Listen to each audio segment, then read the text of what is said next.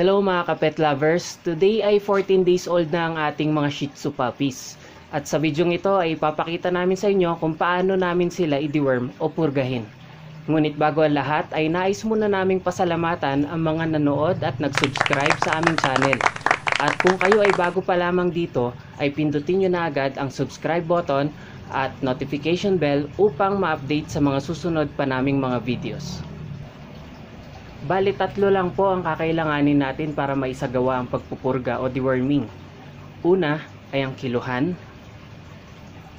Pangalawa ay ang syringe. At pangatlo ay ang gamot na pangpurga. Ang kiluhan ay gagamitin natin upang matukoy natin ang bigat ng ating puppy. Dahil dito nakabase ang dosage o dami ng gamot na ating ibibigay sa kanila. Pangalawa, ay ang syringe dahil ito ay mas madaling gamitin kesa sa dropper na kasama sa box ng gamot. Pangatlo ay ang gamot na pangpurga in the form of syrup. Ididiscuss ko po muna sa inyo yung gamot na gagamitin natin for deworming. Bali, dalawang klase po ang dewormer na available sa ating market. Isa ay ang syrup in syrup form at ang isa naman ay tablet tulad nito. Yan.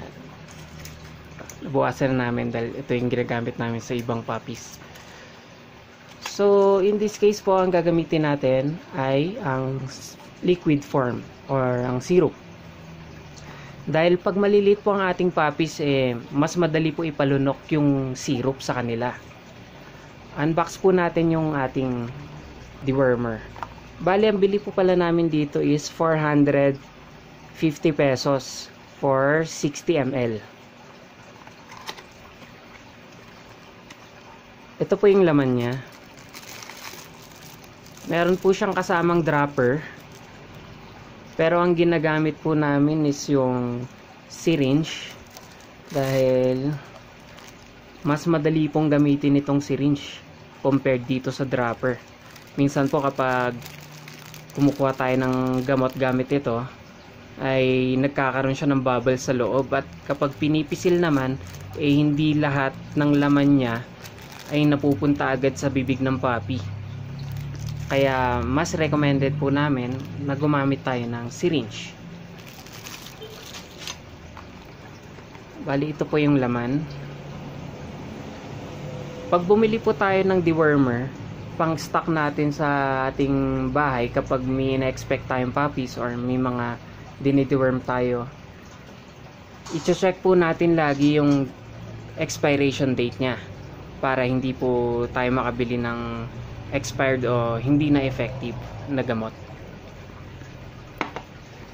Meron din siyang kasamang parang instruction manual.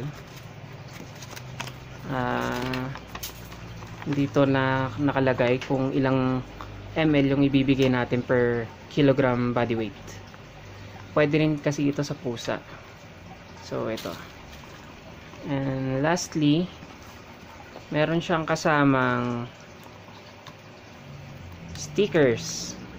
So saan nga ba ginagamit tong stickers? Kung mapapansin ninyo sa inyong mga vaccination certificates tulad nito ay dito po dinidikit ng ating vet yung vaccination at yung deworming para malaman po natin kung ano yung ginamit na dewormer.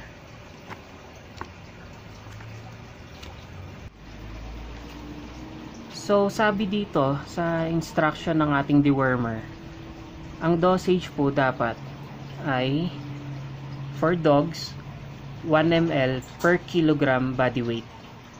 So, ang ibig sabihin po niyan ay sa isang kilo, ang katumbas niya po na ipapainom natin sa ating alaga ay 1 ml.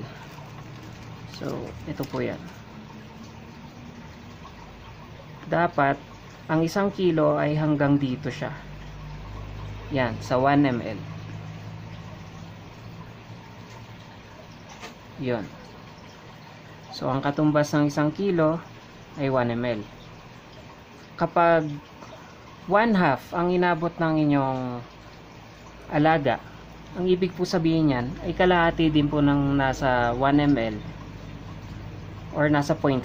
So, pag 1 half, gagawin po nating 0.5 hanggang dito yan. Hanggang dyan po ang ipapainom natin. Yan. What if naman po pag 1/4 lang ang inabot ng papi ko kasi masyado pang maliit. Pag 1/4 po, i-divide lang po natin itong 0.5 ml into 2. Tara, yan. Bali kalahati lang nitong 0.5 ml. Hanggang dito. Kalahati. So, yan, yan po ang para sa 1/4. Ngayon, medyo may mga kalituhan po sa atin. What if nasa gitna siya ng 1/4 at 1 half? Ang ginagawa po natin dyan ay igigit na rin natin sa 1 dito sa 1/4 at doon sa 0.5. So kapag gitna ng 1/4 and 1 half hanggang dito po. Iangat lang natin ang isang guhit. Yan. Ganyan lang po. Paano naman po kung 3 fourths yung bigat ng aking alaga? So, so dito po, ito po yung 1 kilo. Yan ang 1 kilo. 1 kilogram is to 1 ml. Ito naman po yung half. 0.5, yun yung half. So, yung 3 fourths is nasa gitna po ng 1 at 0.5. Yan po, ang pang 3 fourths. So, para hindi po tayo malito, ang tatandaan lang po natin dito ay ang 1 kilo ay katumbas ng 1 ml. Yan. At ang half ay katumbas din ng 0.5 ml. Hanggang dyan. Kaya, ang 1 fourth ay nasa gitna ng 0 to 0.5. Yun po yung 1 fourth. Ang 3 fourths naman po ay nasa gitna ng 0.5 at ng 1 ml. So, ito yung 0.5. Ito naman ang 1 ml. Sa gitna lang nila.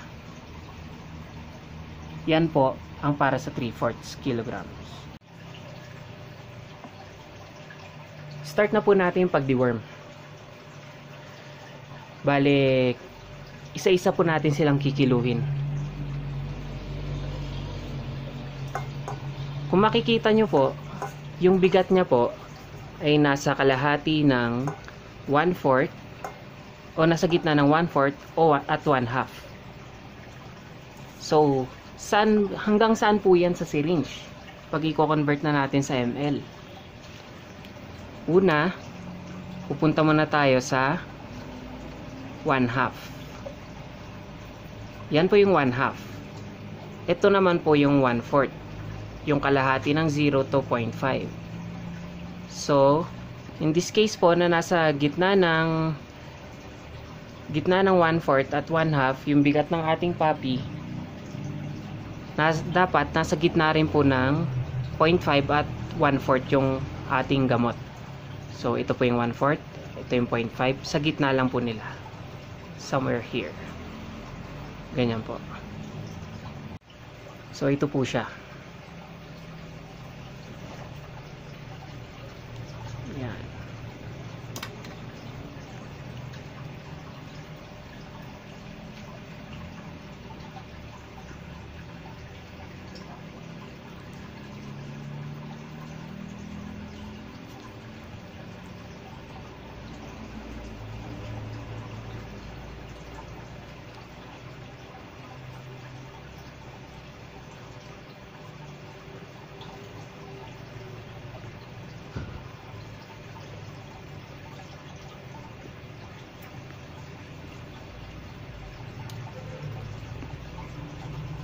So ayun po, natapos na natin ang first deworming ng ating mga puppies.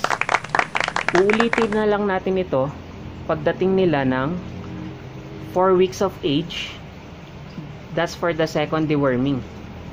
Pagdating naman nila ng 8 weeks of age, yan na pa yung pang third deworming nila. And next is 12 weeks of age for the fourth deworming.